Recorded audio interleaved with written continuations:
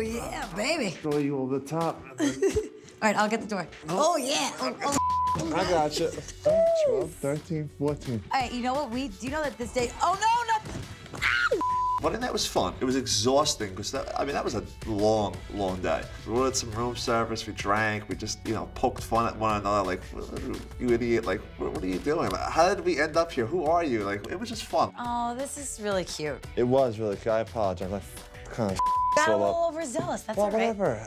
This is my this is my wedding night. No, this is your wedding night. This is our wedding night. These are our gifts. me.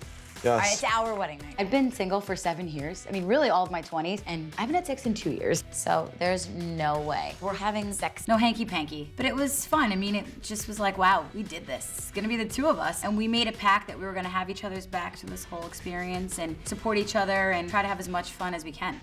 What's my last name again? Can't- I can't pronounce it. Dude, that was a trick question. It's Ranellone. oh yeah, that's right. I was the big spoon, so when we slept, I was on the outside, and I kind of cradled him. He let me, and he's a, I got a foot on me. He's a foot taller than I am, but I would sleep behind.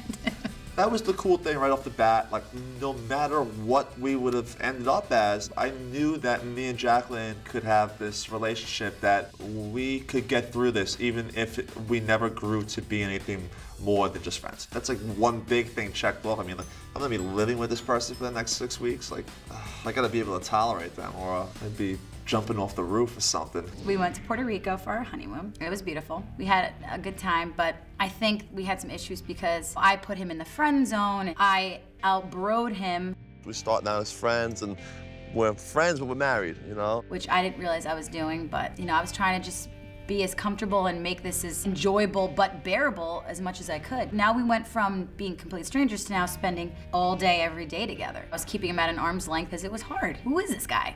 Uh, You know what it is? I just think that I've definitely set up extremely out of reach and super high expectations. And you know what was disappointing? I thought that when I saw you walk down the aisle, I was just gonna know, like, oh, there's my husband, like, bam. And I didn't feel like that. I just wanted to run.